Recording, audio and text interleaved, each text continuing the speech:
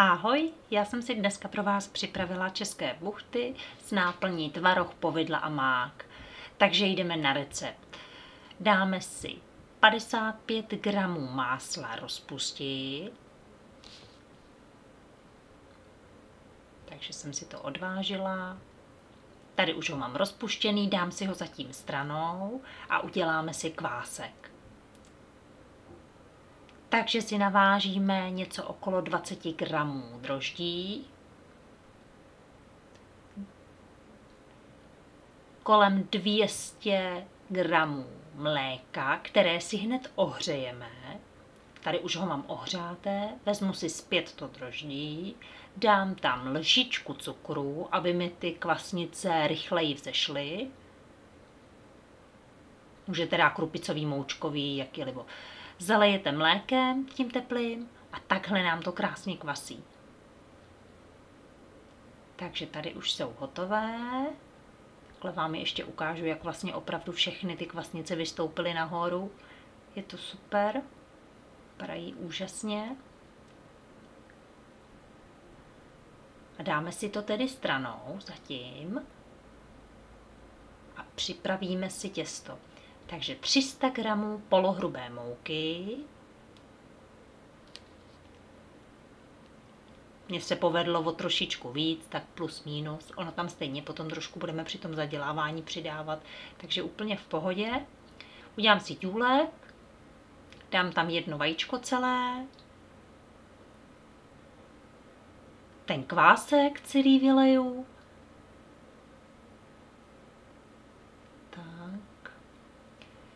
55 gramů cukru si dáme, špičku, na špičku lžičky si dáme sůl,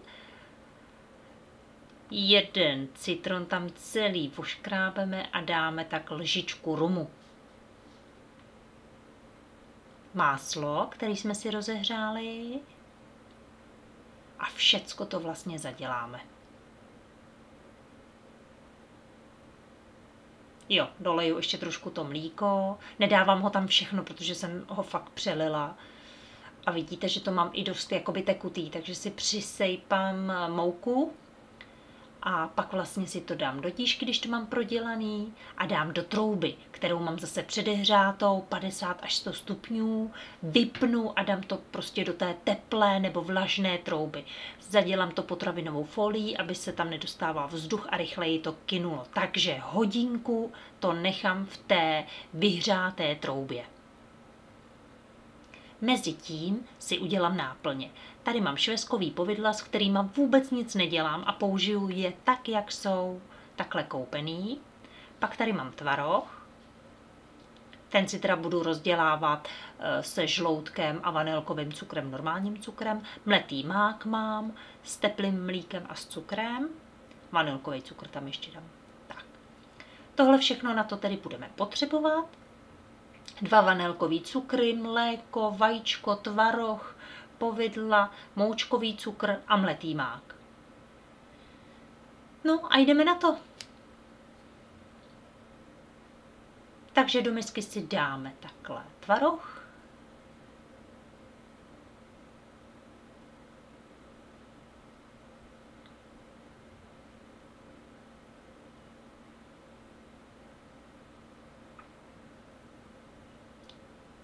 Pílek si dáme stranou, tvarohu dáme opravdu jenom žloudek, vanilkový cukr a rozdělám to šlehačkou. Tomu, komu se to zdá hodně hutné, může tam určitě přidat mlíko, ale potom pro to balení je lepší, když je to fakticky hodně hutný. Myslím, že dvě lžičky cukru jsem dala, pak jsem ochutnala, zdálo se mi to dobrý. Jo, co ještě byste mohli dát, tak je rum. Na ten jsem tedy úplně zapomněla. Ten mám jenom v těch buchtách. I možná by nebylo špatný trošičku nastrouhat citrónu. Ale bohužel to jsem tam nedala. Tak, takhle si odsypeme ten namletý mák.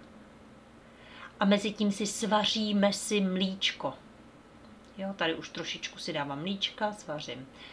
Dám tam takhle vanilkový cukr, mlíčko mám svařený, promícháme a pomalinku lejeme Já jsem si ho tam toho mlíka nalila strašně moc, takže jsem musela vzít ještě ten mletý mák a dohustit to zase zpátky. Takže takhle, no.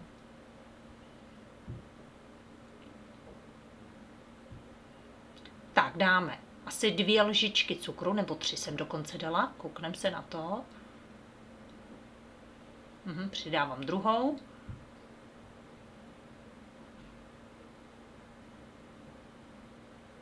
Takže dvě lžičky cukru. Ale samozřejmě dělejte podle svýho. Takže těsto už mám vykynutý, hodinku,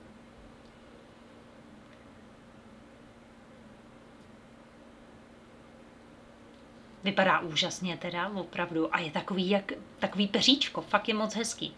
Potom na omak. Zkuste, uvidíte, no.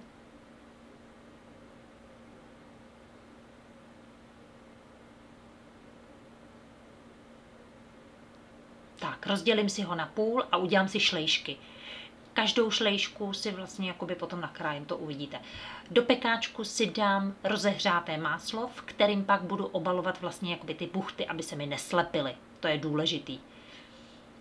No a tady už vlastně plním teda tvarohem, naplním, pořádně uzavřu, otočím a pak to obalím vlastně tím máslíčkem v tom pekáčku a skládám buchtu vedle buchty. Pár jsem jich udělala s tvarohem, pár s mákem, nejvíc jich máme teda s povidlama. Spoustu náplně mi zbylo, takže zřejmě zítra budu dělat buchty ještě jednou, protože teď už se mi do toho tady nechtělo. Takže takhle to plním. Snažím se dávat teda hodně náplně, my to máme rádi, takže někdy mi to trošičku jako i lezlo ven, ale zase jsme měli hodně náplně. Takže takhle si to rozkrájím, roztáhnu, někdo to dělá trošku jinak, někdo to rozválí na plechu, rádílkem si udělá čtverečky, do toho to dává, já to dávám takhle, je to takový rychlejší, no, nemusím se s ničím nějak dlouho dělat. No a takhle je všechny vlastně teda naplním. Tam, kde se mi udělala malá dírka po tom otočení, tak tam dám malinkou záplatu, se z toho nestřílí. Hlavně, že jsou chuťově výborný.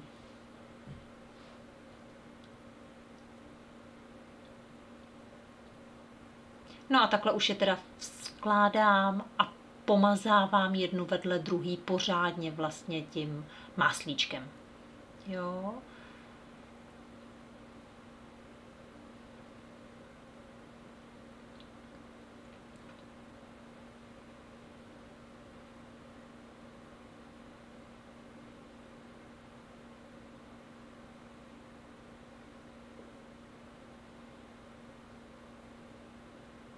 No co mi tam nechtěli vejít? No, měli smůlu, museli. Takže jsou tam. A teďko je zase přikryju je potravinovou folií a dám je na půl hodinky do té teplé, vyhřáté trouby. Takže tady už vidíte, dávám potravinovou folii. Tak a šup s nima do trouby na 30 minut.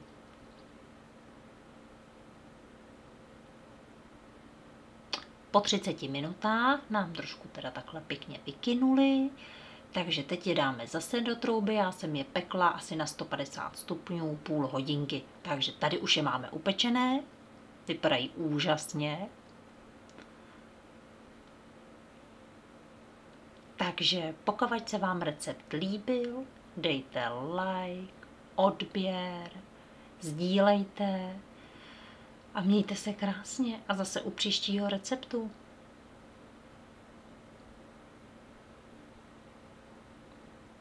Takhle vypadají. Fakticky jsou jako peříčko, jsou úplně super. Tady vám ji i rozlomím. Oni se mě úplně trhají, protože fakt jsem dávala ty náplně hodně. Tak nedrží tolik pohromadě, ale já si myslím, že to je právě ono, že to musí být prostě ta náplň tam hodně, ne jako malinko, někdo dává málo, pak to je takový dusítko. A jak to obalujete ještě potom jakoby syrový v tom másle, tak to je, to je úplně to nej. Spousta lidí to dělá ve voleji, ale to máslo to je něco. To tomu dodá. Tak jo, tak se mějte krásně a ahoj!